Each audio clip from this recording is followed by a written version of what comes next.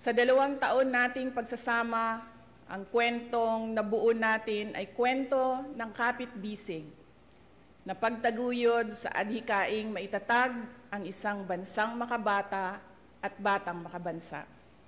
Ngunit anumang kwento, kahit gaano kaganda, ay sadyang nagtatapos rin.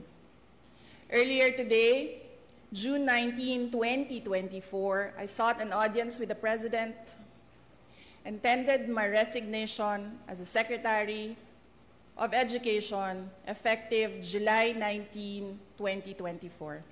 I have given my 30-day notice to ensure the proper and orderly transition for the benefit of the next Secretary.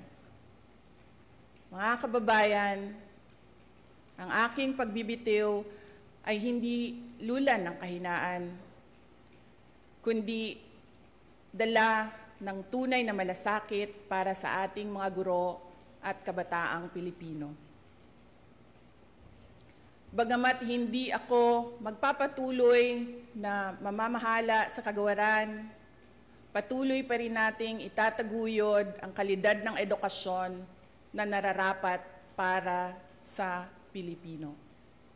Hindi man ako ang tumatayong kalihim ng edukasyon, mananatili akong isang ina, isang ina na nagmamatyag at titindig para sa kapakanan ng bawat guro at bawat mag-aaral sa Pilipinas.